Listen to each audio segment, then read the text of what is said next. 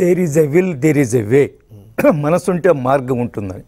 So ఈరోజు ఈ కూటమి ప్రభుత్వానికి మనసు ఉంది కాబట్టి మార్గాలు ఎతుకుతారు. సరైన మార్గం కూడా వస్తుంది. కాబట్టి ఈరోజు ఈ పెన్షన్ల పెంపిణీ ఏదైతే ఉందో యా ప్రభుత్వం ముందు పెద్ద సవాల్ ఇది. అందులో ఎటువంటి అనుమానం లేదు. కానీ కూటమి ప్రభుత్వం ఇచ్చిన హామీని ఈరోజు ఒకటో తేదీ నుంచి ఏడు వేల రూపాయలు ఒక పేద కుటుంబానికి ఏడు వేలు వస్తున్నాయంటే ఎంత అది ఒక పండుగ వాతావరణమే కదండి. బాలకోటయ్య గారు చెప్పినట్టు పండుగ వాతావరణమే ఖచ్చితంగా. కాబట్టి ఈరోజు ఏ మాట అయితే కూటమి ప్రభుత్వం ఇచ్చో కట్టుబడి ఉంది.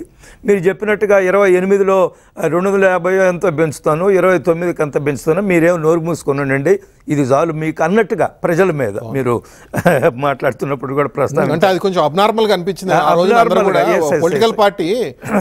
పెంచాలి లేత లేదు కానీ మీకు రెండు వేల ఇరవై ఎనిమిదిలో చెప్పడం అనేది అదేదో సినిమాలో చెప్పినట్టు కోడి మాంసం అంటే గట్టి చూస్తూ ఉండు నువ్వు తిన్నట్టు అనిపిస్తుంది అన్నట్టుగా నేను ఇరవై ఎనిమిదిలో ఇరవై ఇరవై తొమ్మిదిలో ఇస్తాను. అదే ప్రభుత్వం యొక్క బాధ్యత రాహిత్యము. అదే సమయంలో ధనంజయ అన్న తొంభై తొమ్మిది శాతం హామీలు పూర్తి చేశామన్నా అని కూడా అన్నారు ఐఏఎస్ ఆఫీసర్ తోటి. మనం చూసాం వాళ్ళ పార్టీ కార్యక్రమం. కాబట్టి ఈరోజు కూటమి ప్రభుత్వము ఇచ్చిన మాట నిలబెట్టుకున్నది. నిలబెట్టుకోవడమే కాదు ఈ కొనసాగిస్తుంది కూడా ఈ ప్రభుత్వం ఈ ఐదు సంవత్సరాలు. ఖచ్చితంగా పేదలకి నాలుగు వేల రూపాయలు ఏదైతే ఉందో ఇస్తుంది.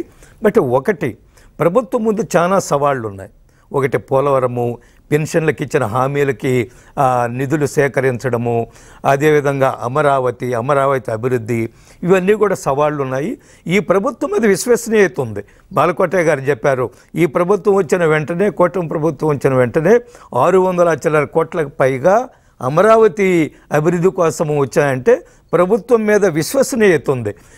చంద్ర జగన్మోహన్ రెడ్డి గారు చెప్పే నాకు విశ్వసనీయత ఉంది ఉండాలా? ఈరోజు నిజమైన విశ్వసనీయత ఈ ప్రభుత్వం మీద ఉంది.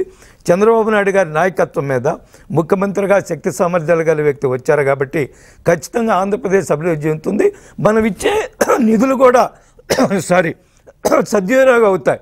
ఈరోజు మనం దేశవ్యాప్తంగా చూస్తున్నాం కదా జిఎస్టీలో ప్రతి నెల లక్ష అరవై వేల కోట్ల పైన పన్నులు కడుతున్నారు ప్రజలు స్వచ్ఛందంగా. అది ఏమి ఒత్తిడి చేసి కట్టింది కారణం ఏంటంటే కేంద్ర ప్రభుత్వం మోడీ గారు మనం ఇచ్చే ఏవైతే ఉన్నాయో నిధుల లేదా పన్నుల రూపంలో ప్రజలకు ఉపయోగపడతాయి. దుర్వినియోగం అని ఒక విశ్వసనీయత ఉంది కాబట్టి పెద్ద ఎత్తున ప్రజలు పన్నులు కడుతున్నారు. అదేవిధంగా ఈరోజు ఈ ప్రభుత్వం మీద విశ్వసనీయత ఉంది కాబట్టి పెద్ద ఎత్తున నిధులు భవిష్యత్తులో ఇంకా అన్న క్యాంటీన్ల విషయంలో కూడా ఎవరైనా స్వచ్ఛందంగా వచ్చి వదాన్యులు లేదా వ్యాపారస్తులు పారిశ్రామికతలు వచ్చి అన్నా క్యాంటీన్లు కూడా ఆదుకునే అవకాశాలు ఉంటాయి. ప్రభుత్వం ఒక అప్పీల్ చేస్తే ఇందాక చంద్రబాబు నాయుడు గారు అప్పీల్ చేసి ఏ అప్పీల్ చేస్తారు ఖచ్చితంగా వస్తాయి. ఎందుకంటే మన యొక్క భారతీయ సంస్కృతిలోనే ట్రస్టీ సిస్టమ్ ఎవరికి ఎన్ని ఆస్తులు ఉన్నప్పటికీ కూడా దానికి నువ్వు ట్రస్ట్ మాత్రమే. అది ప్రజలది ఆస్తి అనే ఒక ట్రస్టీ విధానం ఉంది కాబట్టి దాన్ని మనం పూర్తిగా విశ్వసిస్తాం కాబట్టి విదేశాల్లో ఉండేవాళ్ళు లేదా చాలా మంది వ్యక్తులు ప్రతిరోజు ఇట్లా ఆ, అన్నదాన దానం. చేసేవాళ్ళు వాళ్ళందరూ కూడా ఉంటారు. కాబట్టి ఈరోజు ప్రభుత్వం చేసేది వ్యవస్థీకృతంగా ఉంటుంది కాబట్టి విశ్వసనీయత ఉంటుంది భవిష్యత్తులో ఉంది. అదే సమయంలో నేను చెప్పినట్టుగా ప్రభుత్వం ముందు పెద్ద సవాళ్ళు ఉన్నాయి. మనం అనుకుంటాం కదా ఈరోజు పెన్షన్లు ఇచ్చేశారు అదేదో స్వామి చెప్పినట్టు ఇళ్ళు అలగ్గానే పండుగ కాదన్నట్టుగా కాకు అని అనుకుంటుంటాం. కాబట్టి ఈరోజు మనం సంతోషం దీన్ని కొనసాగించాలా? ప్రభుత్వం ఏ విధంగా రెవెన్యూ జనరేట్ చేసుకోవాలా?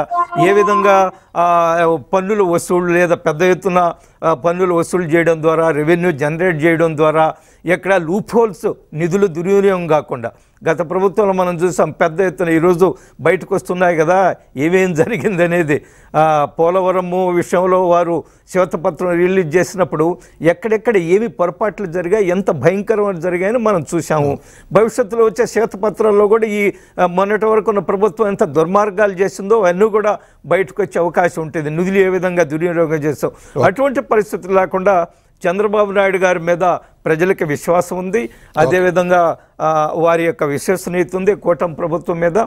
ఈ సవాళ్ళను అన్నీ కూడా అధిగమించే విధంగా ఏ విధంగా ముందుకెళ్ళాలా? అదే సమయంలో మనం గత ప్రభుత్వాన్ని పదే పదే పదే పదే నిందించుకుంటూ పోతూ కూడా ప్రయో ప్రయోజనం ఉండదు. మేము గత ప్రభుత్వం తప్పు చేసింది మేము భవిష్యత్తులో ఈ- రహదారులు మేము నిర్మాణం చేస్తున్నాము. ఈ రాష్ట్ర అభివృద్ధికి మేము పనిచేస్తాం అనేది చేయాల్సిన బాధ్యత ఉంది ఈ ప్రభుత్వం మీద. నేను ముందు చెప్పినట్టుగా ప్రభుత్వం మీద పెద్ద సవాళ్ళు ఉన్నాయి. ఆ సవాళ్ళను అధిగమించే నాయకత్వం కూడా ఆంధ్రప్రదేశ్